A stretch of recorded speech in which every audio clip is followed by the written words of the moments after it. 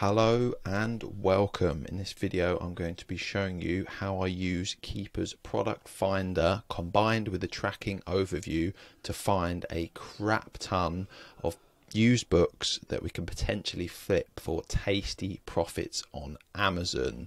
So part one of this is going to be looking at the product finder. So you want to click on the data tab and product finder and the purpose of this video I don't want to go too granular into how product finder works because it might bog beginners down and intermediate sellers alike. I know a lot of people don't use this because they get a little bit scared off by all the filters and metrics that you can track here. So I want to um, be as basic as possible just to provide the essential info so that you are um, so you can become dangerous enough to take action after this video and start searching for um, really below market value books that you can resell for a profit. So what I like to do is I like to focus on the 180 day average here. I want to look for books that don't sell too slowly. So I'm going to look for the fastest selling book over the last 180 days and go up to 1.2 million. You can just focus on books maybe in the top 200k if you want to just focus on fast selling books. Amazon definitely likes it when you sell fast selling books, or if you want to focus more on a long tail strategy where the profits are potentially higher but the books don't sell as fast, then you can raise this up to maybe 2 million, even 3 million. I've sold books um, in the 6 million ranks before and they've actually sold within 30 days. Um, pretty crazy. So you don't want to be too scared off by uh, this figure, but I'm just putting the ballpark of 1.2 in because any book between that range is at least going to sell within a couple of months, hopefully tops three months, depending on the buy price and the competition. Um, what also going to look at the used price because that's very important, isn't it? We want to focus on books that have had a historic um, average above 30 bucks really but I'm going to put 50 in here. So you want to scroll down to use. You want to go to 50 and I'm going to go to 300 there so that it um, filters out any listings that are just chronically high um, and it's actually just a seller putting a book at a thousand bucks. It's not worth a thousand bucks at all. Um, so that's why I'll put it at 300 but you're welcome to put 9999 and you might find some gems in there. Who knows? Um, so we've gone for 50 to 300 buck average here and we've still got an absolute ton of products if you can see in the bottom right it shows you how many products that this query is going to produce when you click find products. That's because we haven't actually filtered down to books yet. I'm going to make my head smaller so you can see you better. Uh, no one wants to see me anyway. Uh, we want to go to the root category and we want to go to books if you want to filter this down to just textbooks then you you can totally do that. You can type like maths in here science and math and you can put as many as you want. Or if you want to focus on non-textbooks you can focus on like cooking cookbooks and architecture whatever biographies you can do all of that. I want to keep this broad so i'm going to take out the cookbooks and just have it as many as possible. So now we've got 35 just under 36,000 results there. Uh, we also might want to look at used offer count because we don't really want to focus on books that got too many offers because that means lots of competition. So maybe over the 180 average, I'm going to go one to say 20 offers, but uh, also on the flip side, there are plenty of textbooks that have got like 100 offers that you can buy up in June or July and sell loads of them in August. So don't also don't be scared off by used offers. I want to really show you that this is just one way of doing product finder one way that I like to do it but myself and the team use plenty of different filters and different searches for this but I just wanted to just give you the, the, the essential info you need as I said earlier so we're going to scroll down. Uh, we don't you don't really need to worry about any of this unless you really fancy going granular and advanced into it. So I'm not going to be too bothered about publication date because you can sell plenty of books that are 50 years old or two years old. So that's not really a problem. Um, you could filter by release date if you wanted to not focus on any books that have come out in the last year because they're unlikely to be any good used book prices. I haven't actually done that. This is just um, come off the top of my head there that might be useful, but I'm not going to do it just because I haven't done it yet. Um, sales rank drops, this is really useful. So we've looked at sales rank we've looked at the used price because we want to focus on books that hold their value and have held their value over the last year. We also want to focus on books that actually drop in sales rank, right? Because if they drop, that means that there's potential price movement. If we just focus on books with no drops, that's not going to be very useful because we probably won't be able to find any deals, and we also there's no point tracking them because it's a waste of an ASIN and an ISBN to track because we're not necessarily going to be able to find them at a good price. There's no point buying something that's not going to drop. So, um, over the last 190 days, I'm just going to focus on books that have dropped maybe five times to, let's say, 99 let's bring that down a bit that's brought it down from 33k to 24k which is all good also there's a 10k limit on this so our uh, Keepa will cut off your query over 10k so i always say that you want to keep your query to 10k and under. That's super useful. Something that's good here is you can untick this box if you want to focus on books that don't have an Amazon offer on them.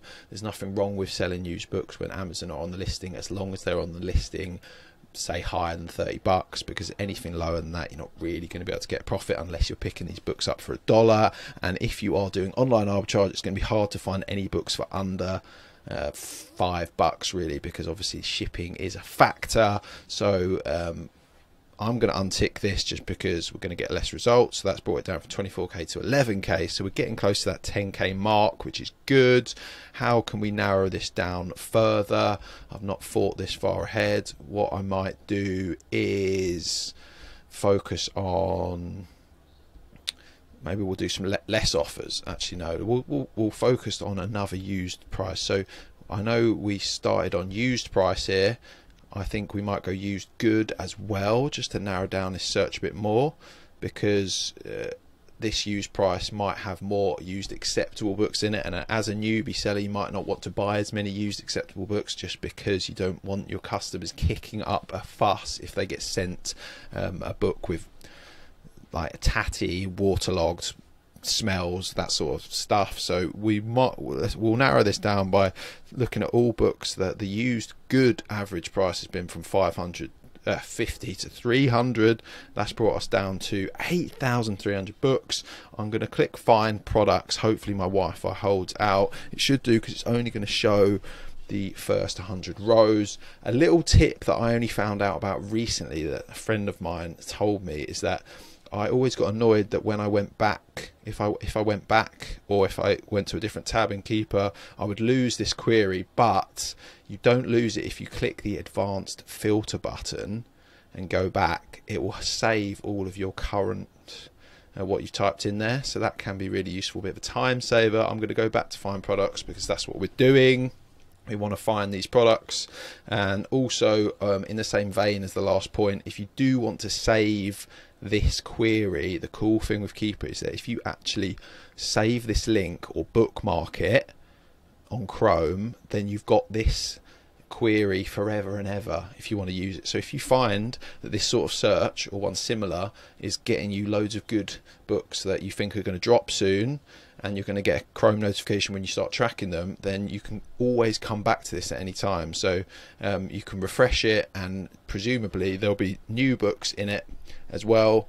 Um, every single book that's got pink marked on it is one that you haven't looked at. So I know that this travel cake book I've looked at, so I'm either going to be tracking it or not. So I'm just going to skip that, which makes it even better when you have saved your query. It just means that then you know when you're going to find new books and it stops you from looking at books you already have and wasting your time.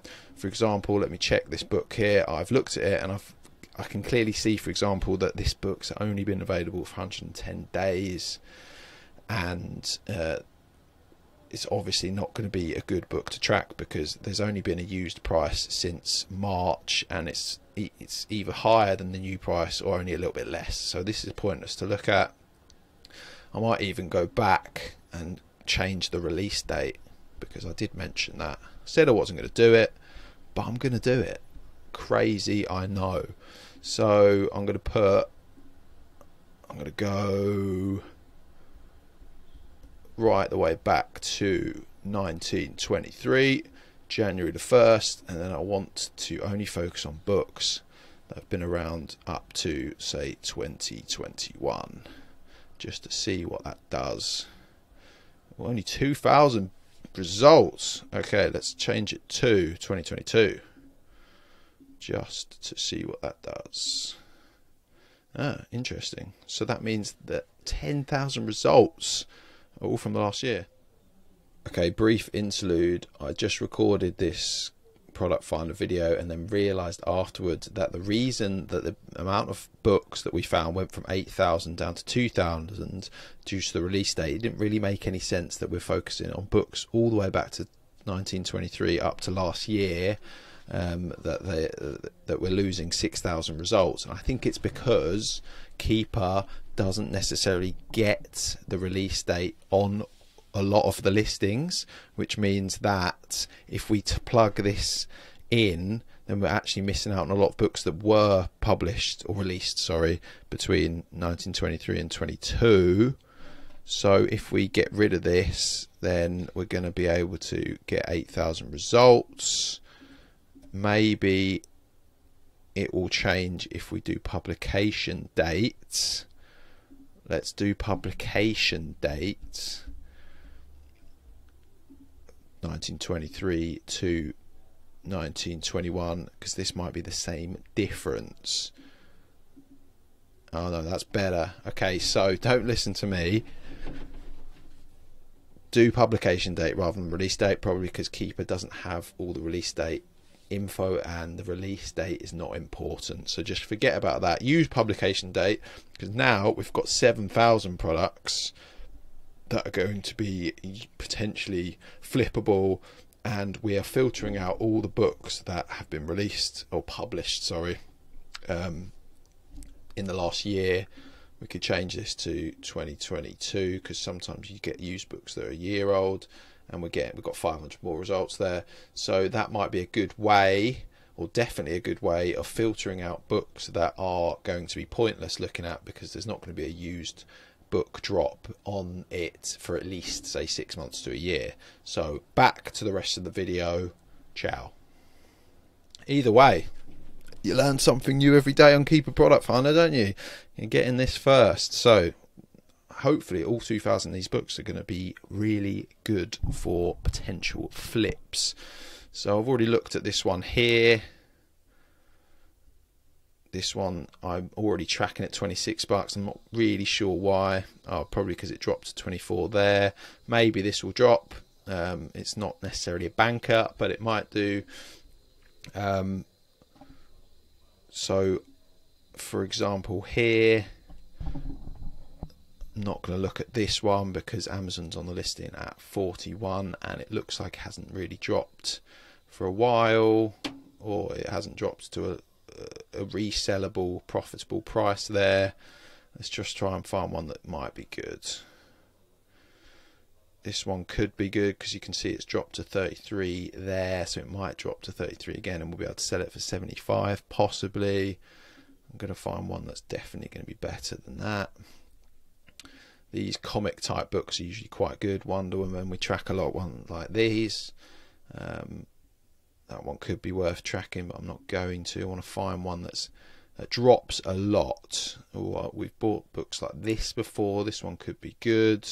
This one's definitely. Oh, actually, the new price is at 42, so it might be. We'll skip that one. I've looked at this book before. This is definitely a good book. We're already tracking it. So this is the example of a good book that's held its value well over the last year you can see it has consistently been the lowest it's been it was 35 there and it's consistently been above there. It's currently way higher at 176 bucks. So I'm confident if we buy this for 40 bucks or under, we're going to be able to resell it for 80, 100, maybe even 150 bucks. Um, if we find books like this, you can see I'm already we're already tracking it at 50 bucks. So if you aren't tracking it, um, you you you won't get this screen.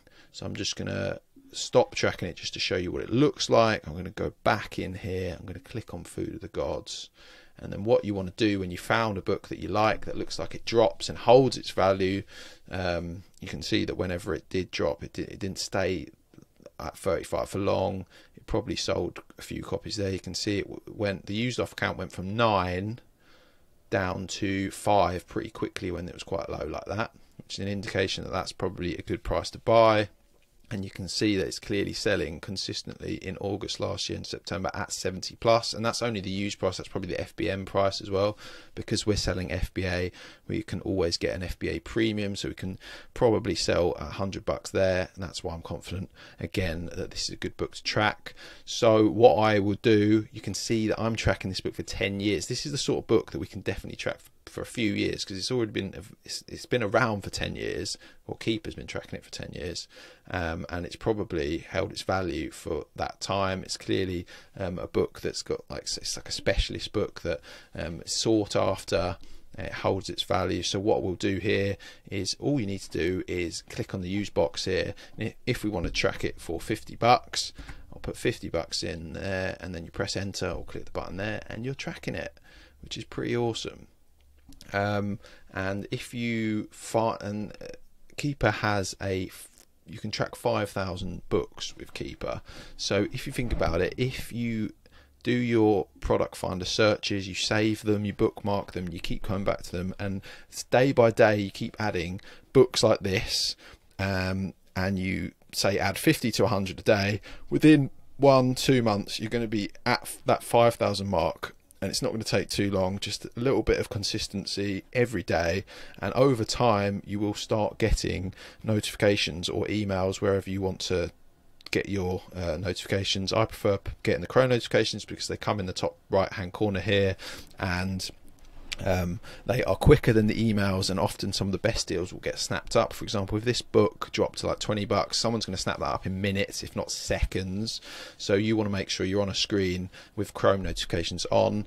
Um, but I hope this all makes sense that if you can find uh, 5,000 high quality ASINs that hold their value but also drop in value at certain times of the year. All you need is 1% of that 5,000 to drop every day, and you've got 50 potential um, but profitable flips on your hands, um, which is super powerful. We've been using this for five years. You can see here on my tracking overview that we've got we're tracking 4,240 because I've been uh, deleting quite a few of our dud ones and re reintroducing better ones uh, recently. Um, and we're getting lots of emails and Chrome notifications each day uh, that the team are buying up. So this is a super useful sourcing tool to find great uh, books which are valuable um, and it's only 19 euros a month or 25 bucks the, if you're in the US and also you can save 20% um, on your Keepa subscription if you pay for it yearly. I envisage myself to be using Keepa for sure for the next year, probably for years in advance, so I don't see a problem with uh, stumping up the cash for that yearly membership. But yeah, that's the video. Wanted to keep it simple. Hope that all made sense. Hope you understand a little bit more about how Keepa Product Finder works. I'll probably do another video on it because there's so many more things that you can go into. But hopefully, I gave you the basics there um, to be dangerous enough to then go and buy or track some books and hopefully get some notifications in your inbox so that you can buy um, some books for anywhere from 20 to 50 bucks plus and resell them for 100 plus. Um, that's the hope anyway. Uh, I've been doing this for the last five years and it's still going strong. It's not changed much. Um, so I do think Keepa Product Finder combined with the tracking overview still got plenty of legs in it uh, for the long haul uh, because we are buying wide, not deep, and it's super super useful and potentially profitable. So um, if you liked the video, please like it, comment, subscribe. Um, and if you've got any questions, pop them in the comments, and I can hopefully uh, give you some give you some answers. So yeah, thanks for watching, and ciao for now.